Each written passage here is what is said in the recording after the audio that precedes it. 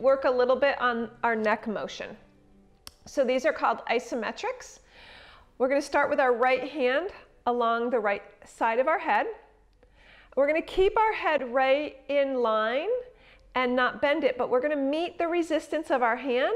We're going to press and then just gently release. We'll do that three times. So press your head into your palm and your palm into your head and then release. And then one more time, gently press your head into your hand and release. So we're activating that right side of your neck and then release down. So make sure you're in good posture and then bring the left hand to the left side of your head and gently push the left, it's really kind of the palm and the heel of your hand and release.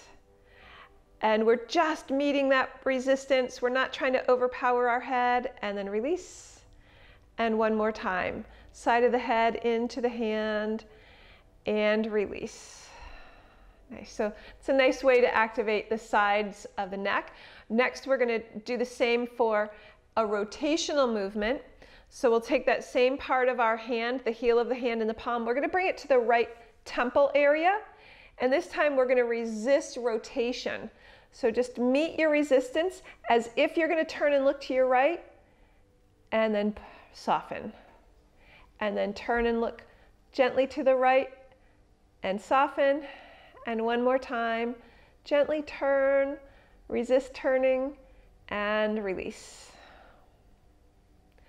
And then with the left hand, again, the palm and the heel come up to the left temple and resist yourself turning to the left and release. Resist turning to the left and release. And one more time. Resist turning to the left and release and let your hands come down.